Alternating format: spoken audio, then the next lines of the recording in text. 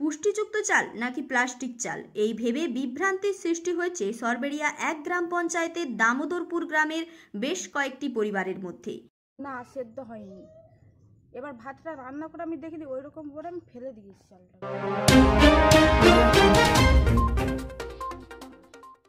পুষ্টিযুক্ত চালকে প্লাস্টিক চাল ভেবে বিভ্রান্তি দাসপুরের এক অঙ্গনওয়াড়ি কেন্দ্রে। ওই গ্রামের একশো সাতচল্লিশ নম্বর অঙ্গনওয়াড়ি কেন্দ্রে কিছুদিন আগে শিশুদের চাল বিতরণ করা হয়েছিল। শিশুর মায়েদের অভিযোগ, বাড়িতে চাল নিয়ে গিয়ে দেখেন সাধারণ চালের সঙ্গে প্লাস্টিক চাল মেশানো রয়েছে।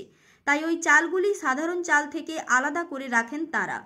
আপনার আইসিডিএস কেন্দ্রে অনেকেই বাচ্চাদেরকে যে চাল দেওয়া হয়েছে, সেই চালে সাদা একটা চাল মেশা রয়েছে। সেটাকে অনেকেই প্লাস্টিক চাল বলে অনেকের মধ্যেই বিভ্রান্তির সৃষ্টি হয়েছে। তো আপনি এ ব্যাপারে কি বলবেন? আমাদের এটা সুপারভাইজার মারফত আমরা জেনেছি ওই চালটা বিশেষ পুষ্টিগুণ সম্পন্ন বাচ্চাদের এবং মায়েদের জন্য বরাদ্দ। ওতে কোনো অসুবিধা নেই বা ওতে কোনো ভেজাল মেশানো নেই বলে আমার মনে হয় আমরা যেটুকু জেনেছি।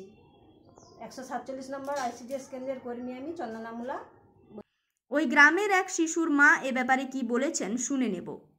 যখন রান্না করব বলে চালটা ধুচ্ছিলাম ধুচ্ছিলাম তখন যে চালটা যে গামলিতে করে ধুচ্ছিলাম চালটা ভেসে আছে আর চালটা নিয়ে হরহর করছে আর ভাতটা হয়নি। চালটা কি সেদ্ধ হচ্ছে? না সেদ্ধ হয়নি। এবার ভাতটা রান্না করে আমি দেখিনি ওইরকম করে আমি ফেলে দিয়েছি চালটাকে। হ্যাঁ, আপনার নাম? আমার নাম অর্পিতা ভৌমিক সুসংহত শিশু বিকাশ সেবা প্রকল্প দপ্তর থেকে জানানো হয়েছে, এই ধারণা সম্পূর্ণ ভুল। চালের সঙ্গে কোনো প্লাস্টিক চাল মেশানো নেই। সুসংহত শিশু বিকাশ সেবা প্রকল্পের দাসপুর এক ব্লকের এক সুপারভাইজার শিখা বসু পড়ে বলেন, এই চালটি কোনো প্লাস্টিক চাল নয়। এটি আসলে একটি বিশেষ পুষ্টিযুক্ত চাল, যেটিকে বলা হয় ফোর্টিফাইড রাইস শিশুদের পুষ্টির জন্য সাধারণ চালের সঙ্গে পুষ্টিযুক্ত চাল মিশিয়ে সরবরাহ করা হয়েছে। এই চাল শিশুদের পক্ষে খুবই উপযোগী। অপুষ্টি দূর করতেই এবার ফোর্টিফাইড চাল সরবরাহ করা হয়েছে। দুই চালের রং কিছুটা আলাদা, তাই অনেকেই এই চালকে প্লাস্টিকের চাল বলে ভুল ভেবেছেন।